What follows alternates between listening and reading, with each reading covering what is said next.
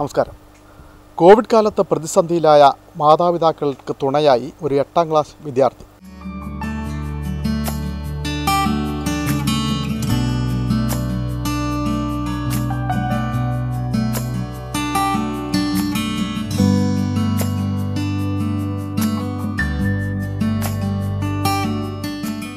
കഞ്ഞിക്കുഴി പഞ്ചായത്ത് ആറാം വാർഡിൽ ശ്രുതിലയത്തിൽ കുട്ടൻ എന്ന് വിളിക്കുന്ന ദുഷ്യന്തകുമാറിന്റെയും സീമയുടെയും മകൾ അനുഷ.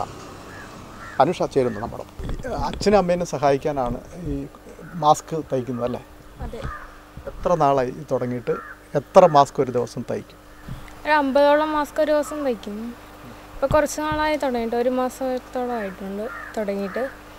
ഈ ലോക്ക്ഡൗൺ ആയത് കാരണം അച്ഛനും അമ്മക്കും പണിയൊന്നും അധികം ഇല്ലാത്തത് കാരണമാണ് ഞാൻ അച്ഛനും അമ്മേനെ സഹായിക്കാൻ വേണ്ടിയിട്ടാണ് ഇങ്ങനെ ചെയ്യുന്നത്.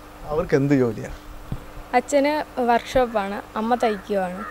കോവിഡ് കാലത്ത് ജോലിയില്ലാതായി പ്രതിസന്ധിയിലായി അപ്പം സഹായിക്കാൻ വേണ്ടിയാണോ? ഇത് തന്നെ എന്ത് എന്തുകൊണ്ടാണ് മാസ്ക് തന്നെ എടുത്തത്? മാസ്ക് ഈ കോവിഡ് കാലത്ത് ഇപ്പം എല്ലാവർക്കും ആവശ്യമുള്ള ഒരു സാധനമാണ്. അതിന് തുടർന്ന് വേണ്ടത് കൊണ്ട് എല്ലാവരും വാങ്ങിക്കുന്നുമുണ്ട്.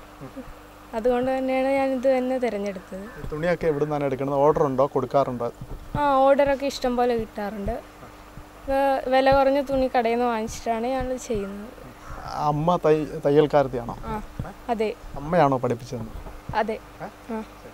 അമ്മ സീമയാണ് അനുഷയുടെ യഥാർത്ഥത്തിൽ ഗുരു എന്ന് തന്നെ പറയേണ്ടി വരും. മാസ്ക് തയ്ച്ചാണ് മാതാപിതാക്കളെ സഹായിക്കുന്നത് തുണയാകുന്നത് മാതാവ് സീമയും ചേരുന്നു.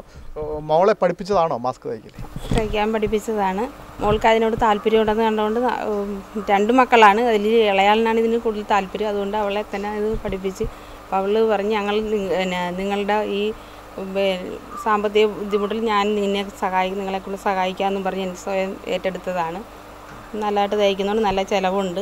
ഒരു ദിവസവും ഒരു പത്ത് അമ്പതെണ്ണമൊക്കെ വരെ ചെയ്യുന്നുണ്ട്. നല്ല ഓർഡറും ഉണ്ട്. മോളുടെ ആഗ്രഹം പോലെ തുണയാവുന്നുണ്ടോ? സഹായമാവുന്നുണ്ടോ നിങ്ങൾക്ക്? ഉണ്ട്. ഉണ്ട്. മോൾ ചിത്രകല കൂടി വളരെ ശ്രദ്ധേയമായി പടം ഒക്കെ വരയ്ക്കുന്നതെന്ന് കേട്ടല്ലോ.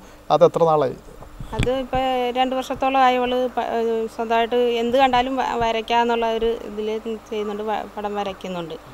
ഒരു രണ്ട് വർഷത്തോളമായി അതിലും കഴി- അവൾക്ക് കഴിവ് പ്രകടിപ്പിക്കുന്നുണ്ട്.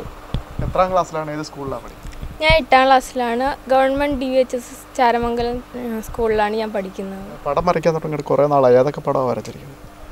ഞാൻ ഗുരുദേവന്റെ ഗുരുദേവന്റെ പടം വരച്ചിട്ടുണ്ട്. ഗാന്ധിജിയുടെ പടം വരച്ചിട്ടുണ്ട്. പിന്നെ കാണുന്ന പടം സീനറി പോലത്തെ വരച്ചിട്ടുണ്ട്.